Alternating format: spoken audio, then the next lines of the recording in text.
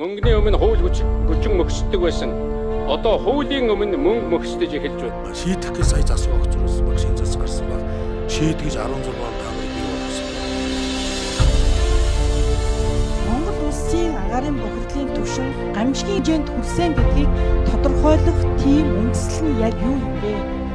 одооноос нэг 2 жилийн өмнө 2 жилийн өмнө бол Монгол Ардын намаас ингэж одоо энэ төрийн тэргүүн хүн өөрөө ийм хутуур байдлаар орж ирээд байгаа явдал бол энэ Монголын ард түмний сайнаар нөлөөлөхгүй шүү.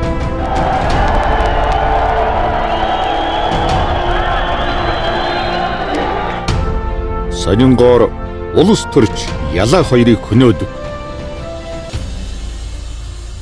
Монголын анхны мэдээллийн сайт Сонин цэгэмен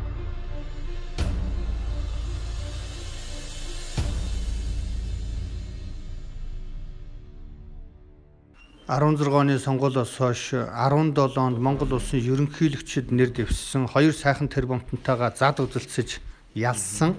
А тэгтээ тэл ловирцсан. Энэ би ялагдсан гэсэн үг биш. Харин эннээс хойш юу исэн бэ гэж асууж ах шиг байна тийм ээ. 17 оны ерөнхийлөгчийн сонгуулиас хойш Монголын ард түмэн намайг жоохон амраа гэж хэлсэн байх. Би нэг намынхаа ажилд оролцоод хөдөө орон нутгаар их явж байна. Намынхаа олон олон идэвхтэн сонгуультнуудаа бас чадварчуулах ажилла хийж байна. А хувийнхаа хувьд бол бас би ч нар гэртээ үр хөвгттэй хүн шүү дээ. Хувийнхаа бизнесийг хийж байгаа. Би чин сэтгэлээс Монголын ард түмний төлөө 10 гаруй жил зүтгэсэн. Хувьдаа ямар ч одоо би улс төрд анх орохдоо л одоо 13-т байдаг хоёр өрөө байранда пөрөөс машинтайгаа байсан. Одоо би хэвээр байгаа. Тэгээд би шудраг байгаа. Надаас юу ч олохгүй ганцхан юм хэлээ. Арт түмэнд баярлалаа. Би та нарынхаа ачийг хариулна. А өнөөдөр зүгээр бас ар гэрийн амьдрал байна. Намынхаа дотоод ажилдаа чамбаарч байна. А товчхондоо бас хов өний хувьд амарч байна. Тэгэхээр одоо яг одоо Дубайн гэрээг цуцсан талаар бол нийгэмд их шоглож байна л да. Одоо энэ талаар ямар бодлоо? Дубайн гэрээг цуцлаа. Энэ дээр манай Батэрдэн гэдэг одоо миний сайн найз мундаг эрдэмтэн байгаа. Гайхалтай эрдэмтэн. Тэгээ Батбаяр гээд хуульч, манай Даш гээд миний бас сайн найз байгаа. Их орончид Эдмэн бас сайн ажиллаж байна, ажилласан. Дээр нь шүүх өнөөдөр бас нэр төрөө хамгааллаа. Монгол улсаа шүүх бас нэр төрөө хамгааллаа.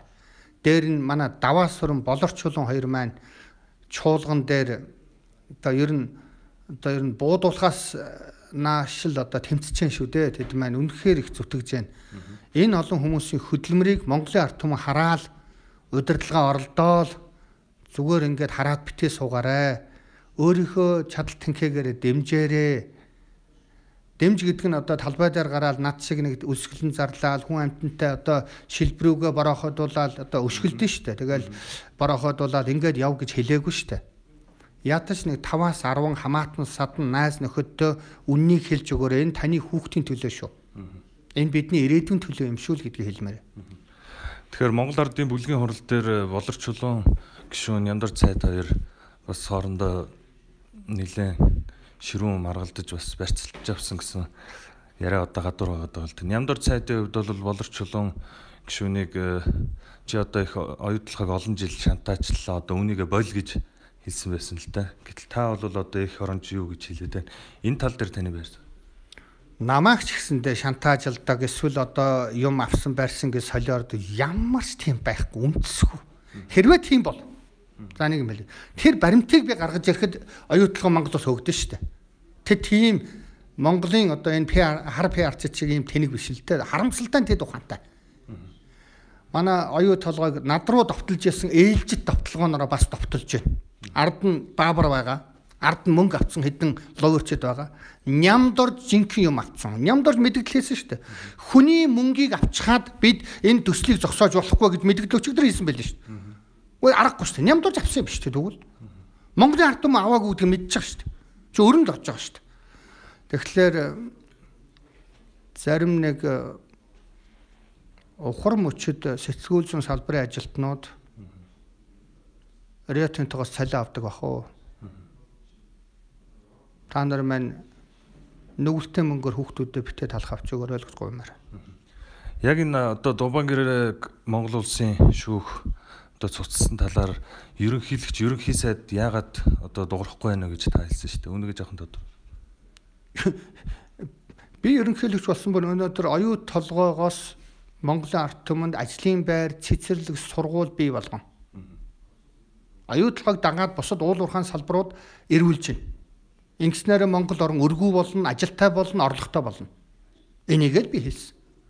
Энэ ерөнхийлөгч хийж байгаа энэ Батолго гэдэг хүн энэ дээр яагаад хөдлөхгүй байгаа юм бэ? Үндсэн хэлгэн зөвл яагаад чимээгүй байгаа юм бэ? Хөрсөх өнөөдөр мундаг юм аа. Загас жарахаа хөцөлдөө дахиад ах юм. Гэхдээ аюутлоготой Риотинтотой тулаач.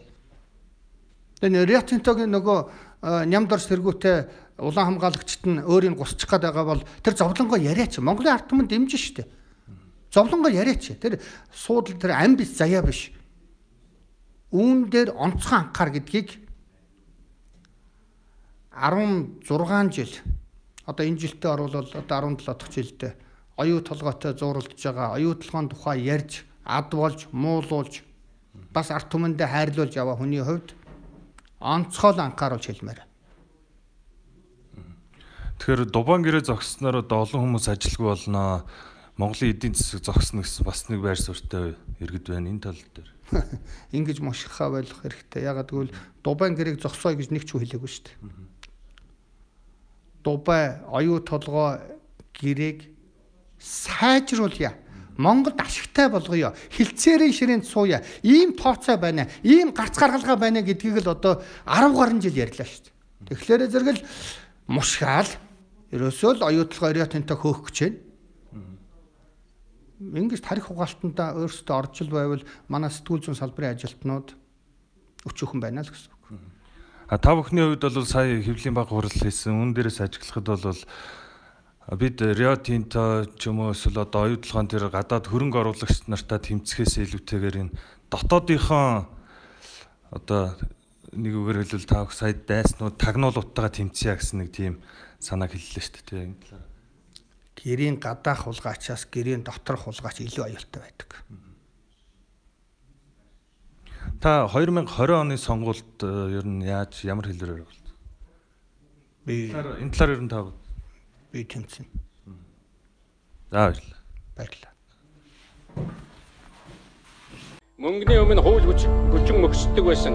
Одоо хуулийн өмнө мөнгө мөхсдөж эхэлж байна. шийдэх гэж сая засаг огц зурсан баг шинэ засаг гарсан баг. Шийдгэж 16 он камерыг бий болгосон.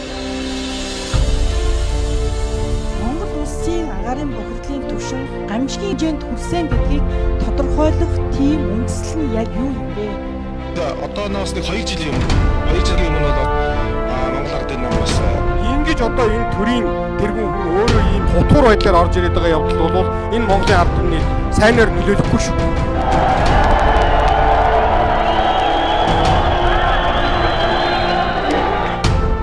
сонингоор улс төрч ялаа хоёрыг хөнөөдөг. Монголын анхны мэдээллийн сайт сонин цэгэмен